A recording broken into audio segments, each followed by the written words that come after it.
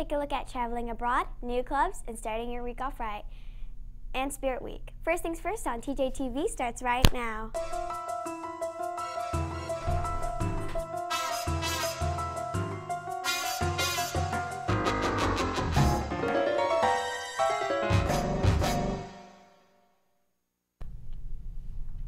Good morning, Toby Johnson. I'm Harpreet, and it's First Things First period on Monday, October 29, 2018. That means it's time for First Things First on TJTV. I'm Deanna.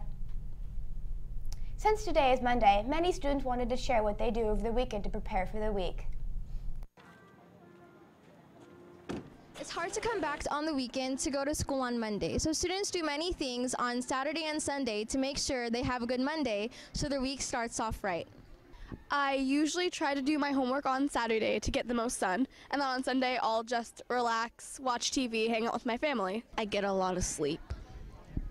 I finish my weekend homework for my classes, and then like during like the nighttime, like I pack up my backpack, so I'm prepared for to go to school next morning.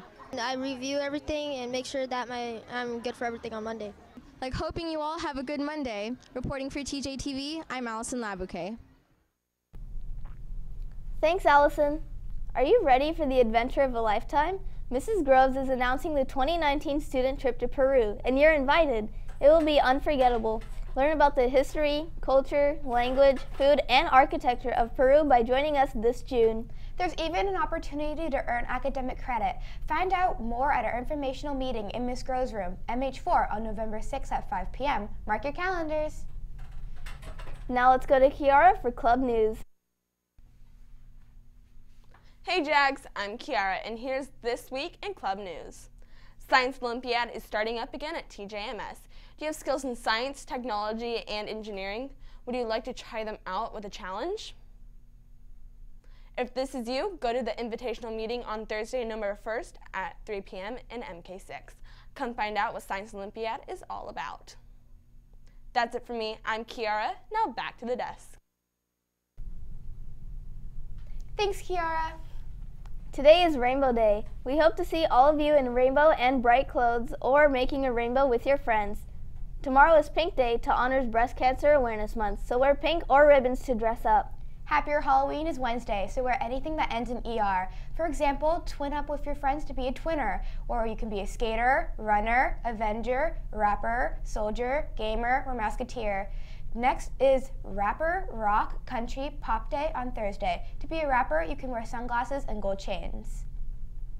Last but not least, Friday is Lazy Day. Come to school in your sleepwear, wear a sleep mask on your head, wear a robe, or wear any other lazy clothing like sweatpants and hoodies. We can't wait to see your spirit. There are so many ways to participate, but remember, your spirit wear must be school appropriate, which means dress code applies and there is no masks allowed. Also, all participants get JAG swag, and the chosen best dressed student will come to the outdoor stage during your lunch to spin a wheel and win a prize. You must have your coupon to spin the wheel, so don't lose it. Teachers and staff, take a picture of you rocking your outfit and email it to Mrs. Kincaid. Teachers, if you dress up for all five days, you will receive a $5 gift card of your choice. And that wraps it up for today's show.